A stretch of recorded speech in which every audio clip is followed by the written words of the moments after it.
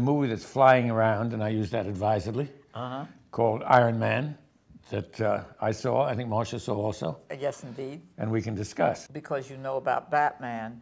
Did, did you know this figure, Iron no, Man? but I, I'm not into those people. You're not. Was Batman a Marvel comic? No, book? it DC, it was called. DC. But anyway, And where was Superman? I think that was DC also. Okay. The beginning of the movie is absolutely wonderful. Robert Downey, who plays, is just superb. The character is wonderful. It's hardly necessary to describe this at this stage. Well, let's do it quickly. One sentence. He's a Arms dealer. he's a Playboy arms dealer. In the original magazine, he was based deliberately on Howard Hughes. Yes. Even the backstory, the fact that his father died and he had to take over the business. Go ahead. I didn't mean to interrupt. Continue. What did you mean to do? I meant to elucidate what you were saying. Okay. He goes to uh, Afghanistan to make a demo of a new missile thing they've done that gets goofed up and he gets captured. He manages to make this iron suit while they think he's making a uh, missile launcher for them. Yes. And with the aid of that, he wreaks havoc, escapes, comes back home, and then he has a change of heart. It never had occurred to It him never occurred to him before. before that, that his arms were sold to the bad guys Or as well as the so-called good guys. But anyway, he has a revelation, and now he doesn't want to make arms anymore. Yes. And so therefore, Jeff Bridges, who's in the movie, was his father's best friend fought and took over the, and the sort of the general manager of the company. He definitely does not like the idea of giving up arms, and so there's so there's the usual thing of him trying to kill or stop uh, Robert Downey, and so it ends with them having a big clanking fight together. Yes. and that's the end of the movie. Okay. People say this, the effects are just fantastic. They are. I didn't find them fantastic. Oh, no, I thought- I mean I know. To me, big fireballs when things blow up. I mean, haven't you seen that? Yes. That. But how about when he flies in the sky? That's That- oh, that's. There's and nothing he's easier. attacked by two uh, American fighter planes, right? Yeah, but- that's kind of funny. But the biggest thing is that the brilliance of casting Robert Downey Jr. He's a wonderful actor, and we would like to go and see him. And also, it has Gwyneth Paltrow. Adorable, She's adorable in it. She plays the secretary, with a darling title name.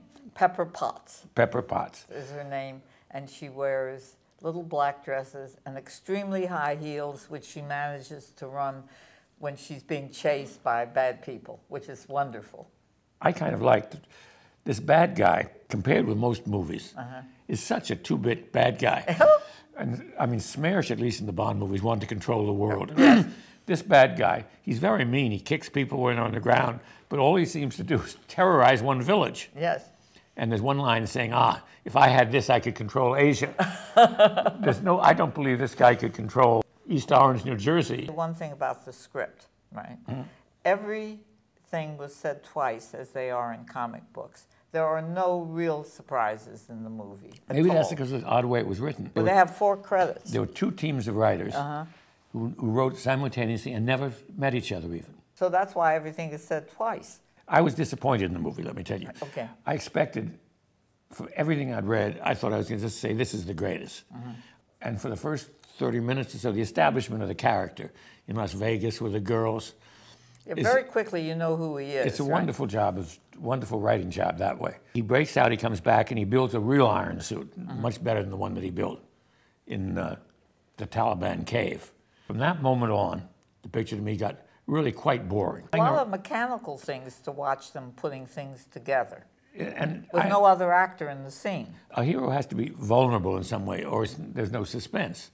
This guy with bullets don't harm him. He has flamethrowers in his fingers, and he has something plasma. Something comes out of his feet. The one possible vulnerability is what appears to be an artificial heart. And at one stage, to me, the only We don't interesting want to spoil the movie. I don't care about spoiling the movie. Okay. The the only interesting plot point, and I'm not going to say what it is, the villain uh, pulls out his heart Yeah. and chuckles to die, and how is how that doesn't kill him, I thought was a clever plot point.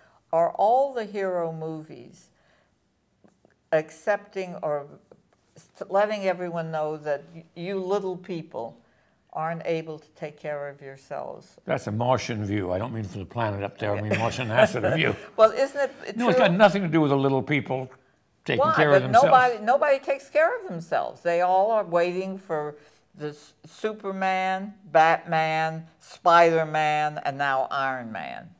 I, did, I didn't read comic books, as, uh, maybe they didn't have comic books. They I guess we were books. still reading uh, hieroglyphics, right? Aren't they always that story? It's one man who's going to save us so that the. one man is saving him from one particular bad man. Oh, okay. It's got nothing to do with the texture of daily life. Superheroes attack supervillains. Because I wrote the television version of Batman, people always often come to me and say, well, you, you must be an expert on the genre. You know this. Nothing could be further from the truth. I am a hated, despised character by comic book fans because not taking Batman seriously. In other words, I did it as comic camp.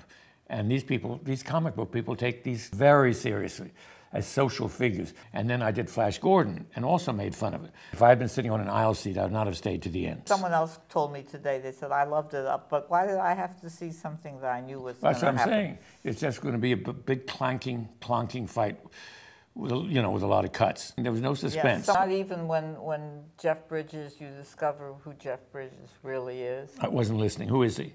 He's a villain, I know he's a villain. yeah. But of course you- he's the villain. Did you see his haircut? It is a pure entertainment. I am an enormous fan of Robert Downey, and I would see any picture that he is in. Clear the land. Okay.